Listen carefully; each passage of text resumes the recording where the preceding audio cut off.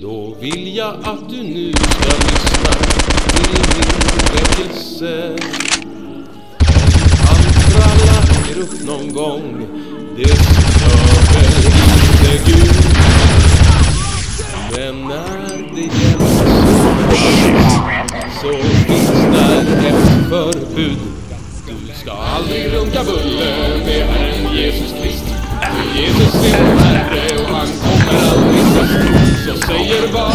och var evangelist.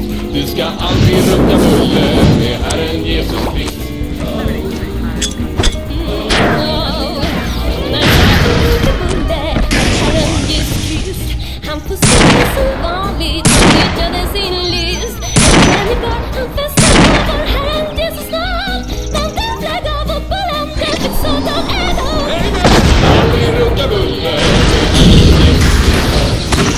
Är vår Herre och han kommer aldrig sist Så säger var apostel och var evangelist Du ska aldrig runka bulle med Herren Jesus Krist Han kom trea. Marcus Silver fick.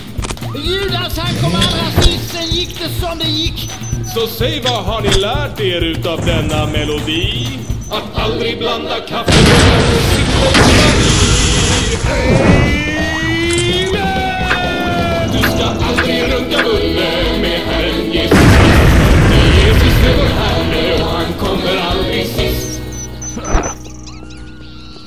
När du sedan står där uppe på Herrans första kvist är det mycket som är oklart men vi vet helt visst